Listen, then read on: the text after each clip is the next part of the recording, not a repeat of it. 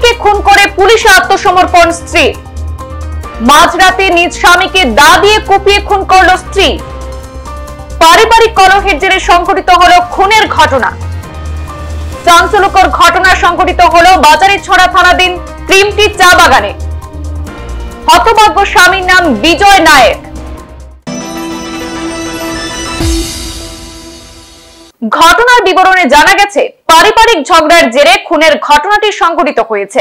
মাঝরাতে নিজ স্বামী বিজয় নায়েককে দা দিয়ে কুপিয়ে খুন করে স্ত্রী অনিতা নায়েক। পরে শুক্রবার স্থানীয় কাঁঠালতরি পুলিশে আত্মসমর্পণ করে ঘাতক স্ত্রী অনিতা। এতে পুলিশ তদন্তে নেমে মৃতদেহ উদ্ধার করে ময়না তদন্তের পর পরিবারের হাতে সমঝে দেওয়ার পাশাপাশি দুই সন্তানের জননী ঘাতক স্ত্রীকে আদালতে সোপর্দ করে রিমান্ডে নেয়।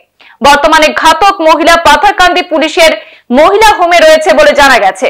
তাকে ফের শনিবার আদালতে সমঝে দেবে পুলিশ। তবে এই কাণ্ডে তদন্তের স্বার্থে পুলিশ এই মুহূর্তে মুখ খুলতে নারাজ।